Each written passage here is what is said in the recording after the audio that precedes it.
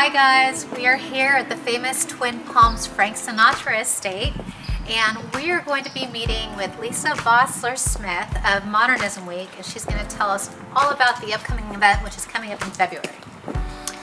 This famous residence was built in 1947 by famed architect E. Stewart Williams and we're going to go and talk with Lisa and learn more.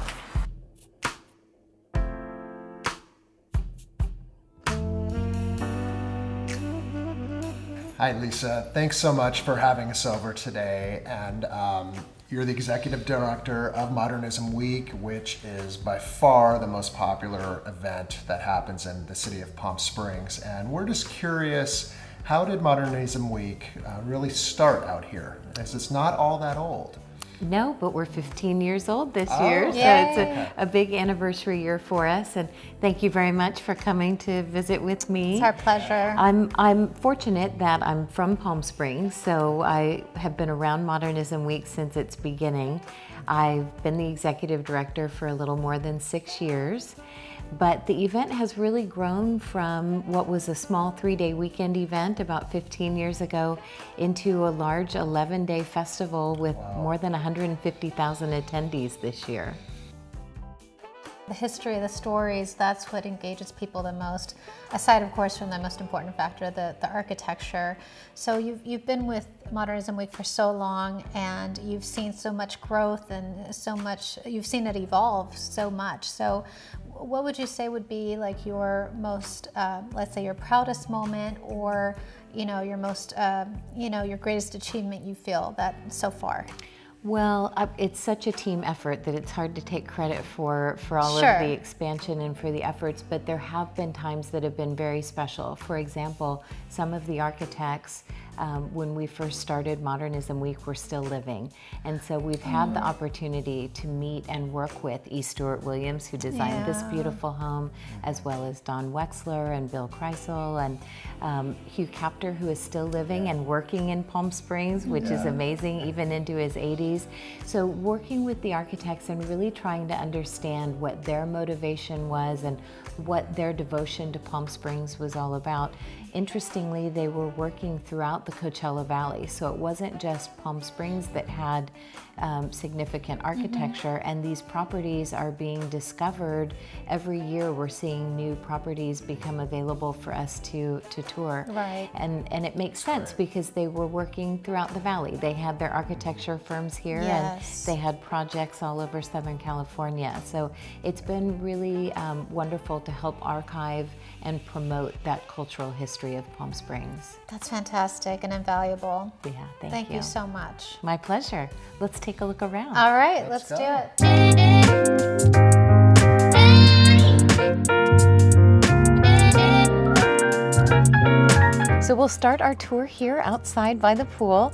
This is the 1947 Twin Palms estate of Frank Sinatra and it was built by and designed by architect E. Stewart Williams, who was a desert modernist architect, and it was privately commissioned by Frank Sinatra. So this was raw land, there was no house wow. here, and uh, allegedly he wanted a Georgian mansion to be built, but fortunately Mr. Williams was able to convince him that a, a modern house might be more applicable for Palm Springs. Mm -hmm everybody loves to talk about the piano-shaped pool, so yeah. I would be remiss if I didn't mention yes. to you that the, the shape of the pool is designed like a piano, and above us is a beautiful colonnade that creates a shadow on the ground of piano keys when the sun is high. So it really does resemble Frank Sinatra's piano, yeah. even though some people think that's just a rumor and not true. Mm -hmm. I think mm-hmm. it's fabulous. I think so too.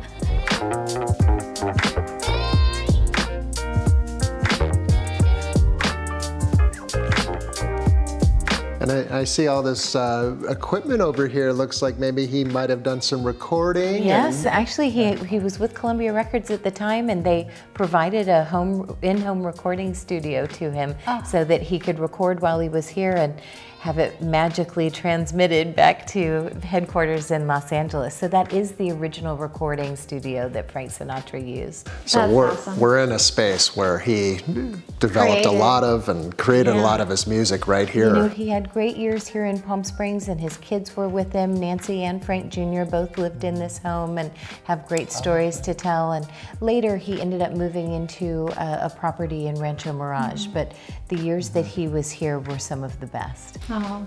I can only imagine. So here we are in the original front of the house. And actually when Frank lived here, it was a vacant lot across the street and he used to land his helicopter there and walk across the street oh. to enter the original front door. You can't wow. beat that. I know. This is gorgeous.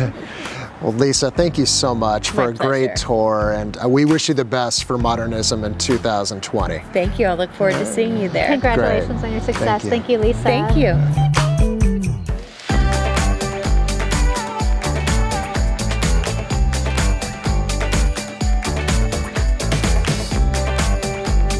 Hi, I'm John Caruana and welcome today to the Mountain View Retreat in the heart of La Quinta. I'm excited for you to see this home today.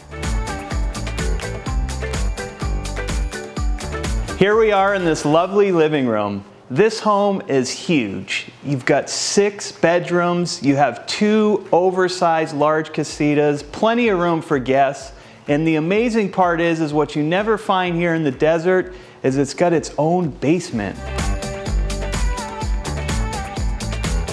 Here we are in the chef's gourmet kitchen, great for a large group gathering. We've got a butler pantry here and Sub-Zero appliances, Fisher Paykel.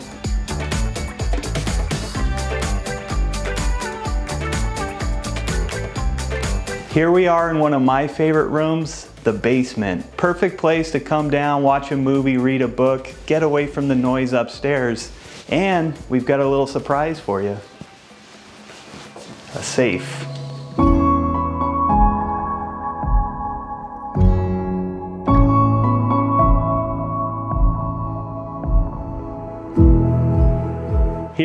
In the best part of the house, the backyard, where all the fun really happens. You've got a large pool, spa, you've got plenty of entertaining area, and you've got also a bocce ball court, a putting green. I mean, there's just so much to do here, it's amazing.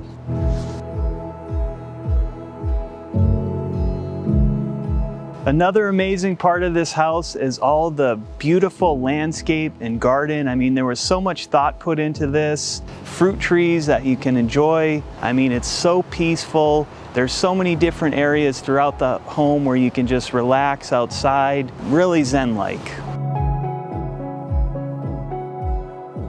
Here we are in one of the casitas this casita is amazing. It's like its own little house here. And this is where all the fun happens. Speaking of fun, this home is a successful vacation rental. It's an Airbnb superhost. If that's something you're interested in, if you like putting money in your pocket with, a, with vacation rental income, this is a perfect property for you. And the best part is, no HOAs here to worry about. This casita has a large master bedroom, plenty of room to sleep. The, the bathroom is huge. And then there's also another casita after that. And don't forget, this home is turnkey furnished, ready to go.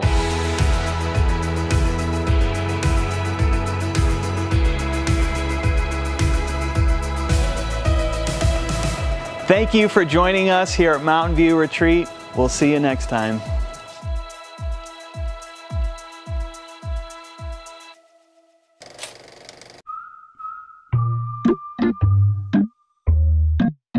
Hi folks, welcome to my house. I'm Dirk Pierce and here we are in beautiful La Quinta, California. You might notice I'm wearing a sweater today. It's a little chilly outside and actually it's raining. You take a look at the mountains, you see it's sprinkling a little bit, but that's not so bad. This time of the year, December, January, we occasionally get a few sprinkles. But I want to take you out today and I want to show you some beautiful places in La Quinta, California. As a matter of fact, I got a little trick up my sleeve. So let me grab my umbrella here. And here we go.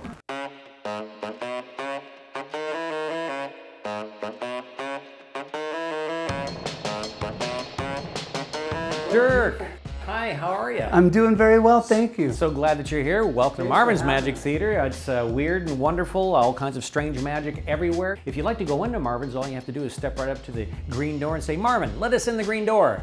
Okay. Ahead. Marvyn, Let us in the green door. That's it. You hear that? That's his favorite song. Oh, sorry. Sorry, the rat is vaping. It's, it's not that big a deal, really. We're in California, you know, the THC. We're pretty liberal out here, but it makes it for so much better of a show. Trust me, trust me. Well, enjoy Marvyn's.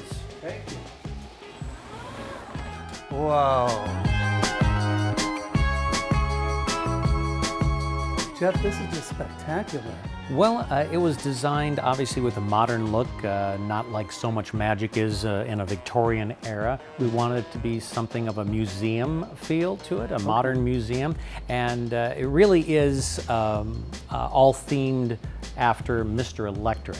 If you'll notice, uh, we have top hats uh, that all have electrical lights in them. And Mr. Electric Marvyn Roy himself and his wife Carol, uh, they were the premier uh, European cabaret and theatrical entertainment for the last half of the last century, the 1950s, 60s, 70s, 80s. They were on the Ed Sullivan Show twice. Wow. Uh, and they toured with Liberace for seven years. Uh, all around the world, they had a 50-year career and a 55-year marriage together before she passed. he's still living. He lives right here in La Quinta. We're roomed for uh, 129 seats in our theater, but our lobby holds uh, just about that many. Uh, as you can see, we still uh, give credit to Marvyn Roy. Uh, his quote, magic is a love affair, one of his posters signed by him. In all the world, there is only one. At the time, uh, no one even thought about doing the type of magic he did with electricity and light bulbs, where he would put light bulbs in his mouth, small little light bulbs and cording in his mouth, and then pull them out lit. 40 of them. Wow. 40 of them, one at a time, all the way across the stage on the other side where his wife would hold it. And it was just, it was a, a wonderful, one of Ed Sullivan's uh, favorite acts of all time. Oh. Uh, we have a few quotes from my amateurs, this guy named Albert Einstein, something about magic, you may know him. Um, but this uh, is our theater, and this is where the real magic happens uh, every single night. Jeff, love this stage.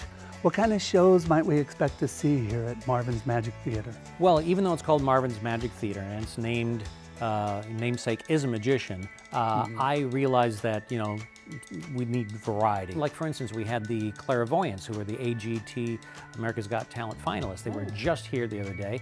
Um, and, uh, but we always focus on something magical every week, regardless of the act. There's always lots of laughs to be had no matter what the act, and we always guarantee a great show. And it changes every week. What kind of caught me when I came here is that how easy it is to get in and out as opposed to walking through a casino, maybe not getting a good seat, but I mean, here, every seat in the house is a first row seat. Well, when you design a theater the way that a performer, I like to see it, this is like my, my all-time, this is my ultimate theater because everyone's close. Like you say, everyone feels like it's a front seat that's only 25 feet to the back row, only about 50 feet across, but you got 129 seats. It's like, it's like if I invited everybody in my living room to do a performance. That's what I was thinking. No matter where you're sitting in here, you can see the eyes of the performer. Right. And that's really important. And it's different out here in La Quinta. Nothing is on this side of the valley uh, at all like this, and people were so thankful. Thank goodness we have something fun to do on this side of the valley. I remember when it was being built, and my wife and I would always be driving by, and we just, for the life of us, couldn't imagine what it was going to be. So we're so excited you guys are open now. Uh, before we finish this, um, you know, Marvyn was experimenting in his Mr. Electric mode for the past few years on an experimental project called the Dematerialization Chamber. I think you need to see it.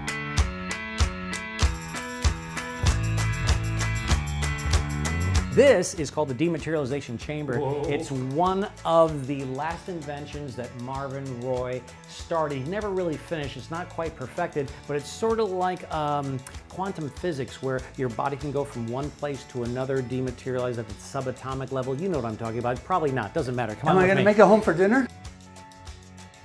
Well, this only takes about 10 seconds. Don't get nervous. Actually, I'm nervous. I've never done this before. Has Marvyn done this before? Oh, no. He wouldn't get in this thing. Oh, no. I hope everything's all right. I hope you had a good time. What I did, but what's going on here? Are you there? Hello?